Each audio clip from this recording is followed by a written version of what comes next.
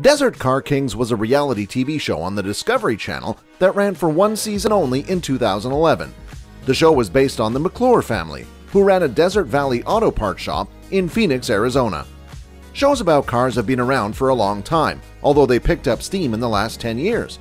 Therefore, it is not strange to see that every big TV network has its own car show. One of the reasons is that people love to see amazing cars and fascinating things they do not know about them. The content is also eye opening, and in the next couple of years, there could be a lot more. Some of these shows are synonyms of the TV shows such as Top Gear that aired in the UK on BBC. The hosts did a fantastic job, but unfortunately, one of the stars, Jeremy Clarkson, had a few problems with BBC and had to leave. Soon after, the other stars left as well. From then on, the show was hosted by Matt LeBlanc, among others, and you would expect people to love Matt, but unfortunately, most of them said that it has never been the same. Whether it's a unique shop that restores cars, like the Desert Car King show, or one that flips the cars into something better, there's excellent premise all around. However, most people would probably argue that these shows need a shake-up as there has been plenty of recycled concepts. For shows that have found their niche, they end up becoming mundane, and they cannot get out of it, but some shows did not last long enough, probably because they were way ahead of their time. This is where the Desert Car Kings show comes in. Jason and his father Ron, who were the show's main characters, would restore classic cars within a limited time frame, and then these restorations would be auctioned. The operation housed more than 10,000 vehicles on 100 acres of dry Arizona land. Their restorations included a 1970 Oldsmobile, a 1965 Ford Thunderbird, a 1964 Plymouth Barracuda, a 1962 Ford Galaxie, and a 1966 Chevrolet Chevelle SS. Unfortunately, they had average ratings, and critics pounded them with bad reviews. While a few praised the show, most people called it fake, and its time slot was competing with cable TV's highest-rated reality show, A&E Storage Wars. This did not help things.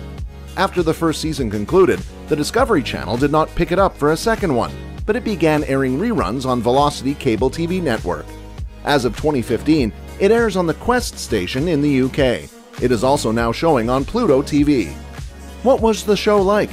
Well, before we delve into this show and try to understand why it was cancelled after only one season, if you haven't already, please like this video by leaving a thumbs up. Please also subscribe to our channel by clicking on the subscribe button, and do not forget to ring the notification bell so you can be notified the minute we have a new video out. Now, back to the show. The show mostly featured restorations, and in the first episode, the McClure clan restored a 1965 Thunderbird as they figured that there would be more to be made when the vehicle was dismantled for parts. According to the family, selling classic cars tested the family business's foundations, and it all came down to the auction. In the next episode, Ron challenged his son Jason and the crew to restore a 1970 Oldsmobile 442 that was part of his private lot.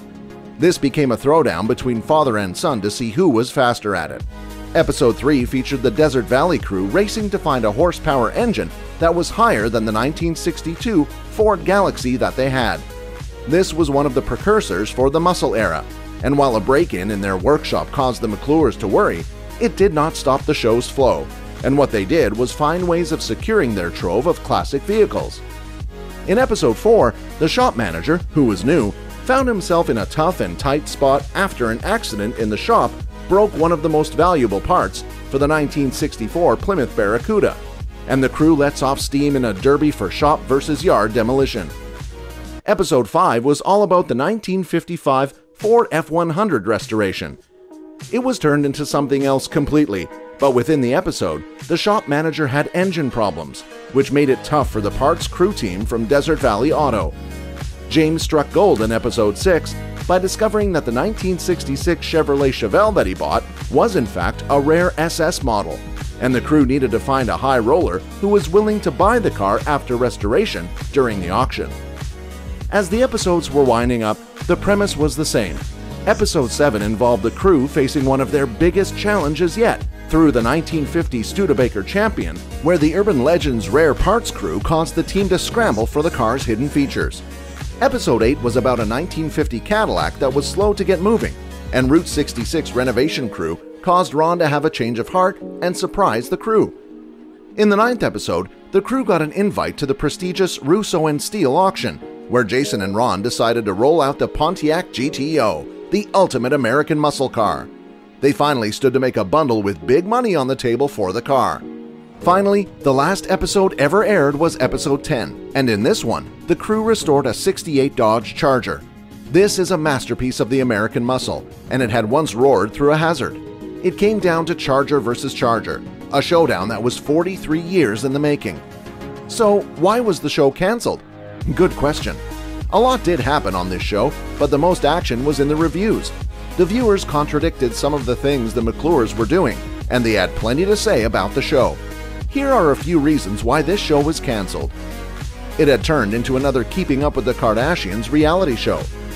This, according to critics, is what happened to the Desert Car King show, and what started as a car restoration show quickly turned into another family feud kind of show. For this reason, it only lasted for one reason because whatever cars they repaired when they were not too busy arguing caused the show to lack life and charisma. This made it pretty sad and unentertaining to watch. You might wonder how far the show would have gone with different direction and production. Criticism of the show There was plenty of criticism for this show, and a look at the comments section, you will see the following comments. OMG, they are shooting the car using dust masks, and there are fumes all over. It looks like they are not even using HVLP fumes. The masks are all green and they are not wearing respirators. What idiots! They are shooting in jeans, t shirts, and hats, and are probably wondering why they have fish eyes. I am still laughing about this show. They just shot on the roof with fluorescent reflections, and even on TV you can see the imperfections and dirt on the paint. I believe even a 10 year old can shoot better than them some of the restored cars did not fetch as much as anticipated. In one of the episodes, they restored a vehicle and sold it for only $5,600 after investing more than $6,500 on it. This was just sad, and needless to say, the audience was not impressed. The ratings. The ratings were pretty low for this show, which could have been one of the reasons why Discovery decided to discontinue it. What could have been done to fix the show? Reality automotive TV shows have been attempted for decades, and rarely do they succeed. Here are a few ways Desert Car Kings could have been improved. Lowering the budget. It would have been better to see the McClure family restoring cheap cars on a low budget and the kind of challenges they would have experienced instead of building the classic and expensive cars. Found better hosts. One of the reasons why shows like Top Gear worked was the chemistry of the hosts. For this particular show, Discovery should have looked for a quirky cast competent, funny, and relatable. This may have saved the show. Got rid of the fake drama. It was compared to the Kardashians due to the unnecessary and sometimes fake drama on the show. It may have caused the show to appear scripted. They should have made the show about cars only. Making it about the family and fake fights was just a miss. Again, the fake drama about deadlines and missing parts was just too boring. No script. It was obvious that there was a script. If it had to be there, at least it shouldn't have been too obvious. Sometimes everything was just predictable, and a better option would have been to keep the cameras rolling to catch some juicy and embarrassing stuff. Looked for untold stories. This one is for the producers of Desert Car King show. They should have attempted to go where no car show has gone before. They should have tried to find stories that have not yet been told, which means traveling and talking to people. So, those may have been some of the reasons why this show was cancelled, and a few tips on how they may have improved on it. If you haven't already, please leave a thumbs up for this video, and be sure to subscribe to our channel and turn the notifications on by clicking on the bell so you can be notified whenever we put out a new video. Thank you so much for watching. We will see you in the next video.